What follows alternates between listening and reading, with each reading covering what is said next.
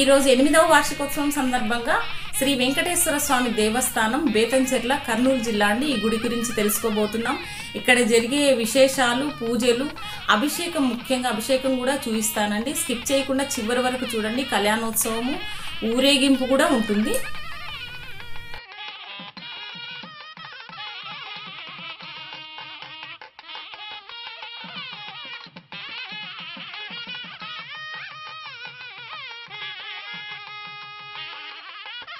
TTD వారి సహకారంతో ఆ కలియుగ ప్రత్యక్ష దైవమైన శ్రీ వెంకటేశ్వర స్వామి గుడిని మా నాన్నగారు తన పది సెంట్ల సొంత స్థలంలో ఈ గుడి నిర్మించారండి. ఈ గుడి దుర్గాపేట బేతంచెర్ల కర్నూలు జిల్లాలో ఉంది. ఈ గుడి గురించి క్లుప్తంగా తెలుసుకుందాం. ఈ గుడిని మా జేజి గారైన రామక్క గారి పేరు మీద ఆమె జ్ఞాపకార్థం ఈ గుడిని నాన్నగారు నిర్మించారు.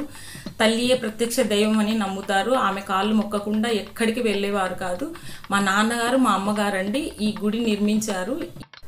ఈ గుడి విశేషాలు మరిన్ని తెలుసుకోబోయే ముందు ఒకసారి ఈ గుడి వీడియో చూసేయండి.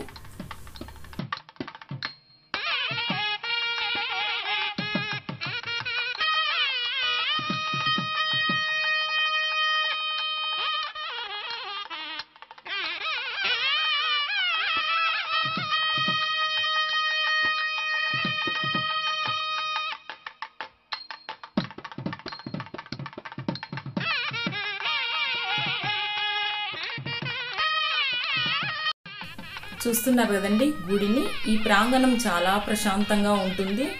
ఈ ప్రాంగణంలోనే ఒకవైపు నాగమయ్య కట్ట నవగ్రహాలతో కూడిన మండపం కూడా ఉందండి.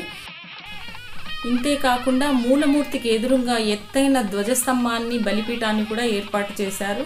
మనం గుడిలోకి ప్రవేశించిన తర్వాత గుడి చుట్టూ ప్రదక్షిణ చేసుకోవడానికి కూడా స్థలం ఉందండి. ఇక్కడ నిత్యము పూజలు అభిషేకాలు అర్చనలు జరుగుతాయండి. ఈ సంవత్సరం కరోనా కారణంగా ఎనిమిదవ వార్షికోత్సవ పూజలు అభిషేకాలు కైంకర్యాలన్నీ స్వామివారికి మాత్రమే ఏకాంతంగా జరుగుతాయండి. ఎవరిని ఆహ్వానించలేదు. గుడి లోపలికి ప్రవేశించాక మూలమూర్తి కుడివైపున ఒక గూడు లాంటిది ఏర్పాటు చేసి మద్దిలేటి స్వామి పటాన్ని పాదుకల్ని పెట్టారండి. మదిలేటి స్వామిని కూడా ఇక్కడ పటం ద్వారా దర్శించుకోవచ్చు. ఈ వార్షికోత్సవానికి ముందు రోజు రాత్రే గుడినంతా రంగురంగుల లైట్లతో అలంకరిస్తారు. అంతేకాకుండా బంతిపూలను ఎక్కువగా సేకరించి అందరూ కలిసి అక్కడ ఉండే ముత్తైదులందరూ కలిసి మాలలు కట్టి గుడి చుట్టూ అలంకరిస్తారు. ఇవే కాకుండా మామిడాకుల తోరణాలు బంతిపూల తోరణాలతో గుడినంతా గుడి ప్రాంగణాన్నంతా అలంకరిస్తారండి.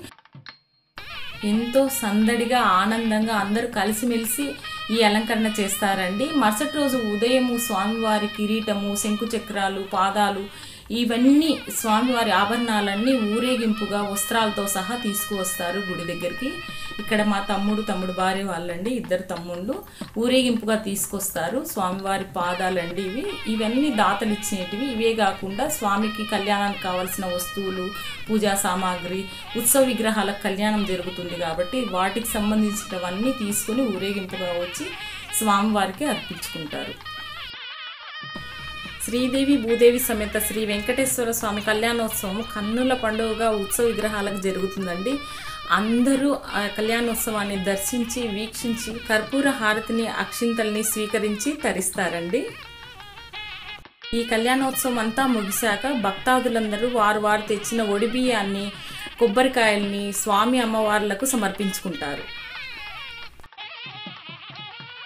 అంతేకాకుండా ఈ కళ్యాణోత్సవాన్ని చాలా కన్నుల పండుగ నిర్వహించిన ఈ అయ్యవారికి శాలువాతో సన్మానించి తీర్థ ప్రసాదాలు అందజేస్తారు. భోజన కార్యక్రమాలు కూడా ఉంటాయండి. ఈ గుడి కట్టించినప్పటి నుంచి ఏ ఆటంకం లేకుండా అభివృద్ధి చెందుతూనే ఉందండి ఇక్కడ దర్శించుకున్న వాళ్ళందరూ ఆయన మహిమను పొందుతూనే ఉన్నారు. వారి వారి ఇష్టానుసారంగా దాతలు ఏదో ఒక రూపంలో స్వామికి నిరంతరంగా అందజేస్తూనే ఉన్నారు. నిర్విరామంగా ఈ గుడి అభివృద్ధి చెందుతూనే ఉంది. ఆ స్వామి కృపాకటాక్ష మనందరి మీద ప్రసరింపజేయాలని కోరుకుందాం. ఈ పూజా కార్యక్రమాలన్నీ ముగిశాక వంట పదార్థాలు స్వామివారికి నివేదించి అన్నదాన కార్యక్రమాన్ని మొదలు పెడతారండి. ఈ అన్నదాన కార్యక్రమం నాలుగు వరకు ఉంటుంది. ఈ కార్యక్రమం అంతా ముగిశాక ఉత్సవ విగ్రహాలను ఊరేగింపుగా ఊరంతా ఊరేగిస్తారండి.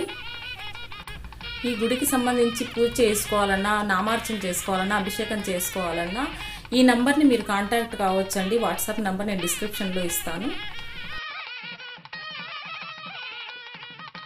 మనస్ఫూర్తిగా సబ్స్క్రైబర్స్ ఫ్యామిలీస్ అందరూ బాగుండాలి. ప్రతి ఒక్కరు సబ్స్క్రైబర్ ఫ్యామిలీసే కాకుండా ప్రతి ఒక్కరు ఈ కరోనా బారిన పడకుండా ఆయురారోగ్యాలతో ఉండాలని ఆ దేవుని మనస్ఫూర్తిగా కోరుకుంటున్నానండి. ఆ దేవునికి అందరి పేరు మీద అభిషేకము అర్చనలు చేసుకుందాం. ఇప్పుడు అభిషేకం చూసేయండి.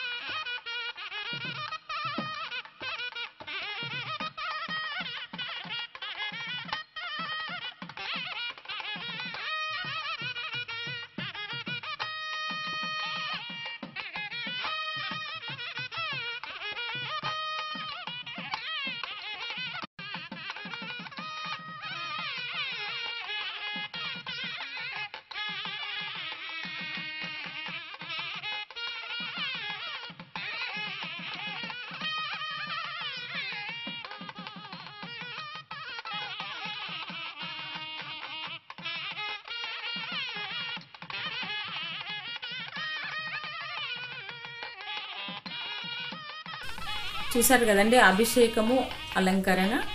ఇవండి ఈ గుడి విశేషాలు. ఈ గుడికి సంబంధించి గోత్రనామార్చన కానీ ఆకుపూజ కానీ కుంకుమార్చన కానీ అలాంటివి ఏమైనా చేసుకోవాలనుకుంటే నేను ఒక వాట్సాప్ నెంబర్ డిస్క్రిప్షన్లో ఇస్తానండి.